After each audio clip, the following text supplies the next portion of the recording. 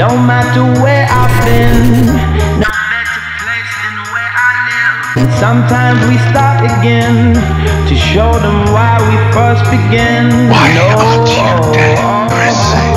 I know it's We're just getting that long low. time, uh, uh, So won't you uh, say it uh. again? You should see me in a crown. No rush. Mr. Teensy bit disappointed. Me.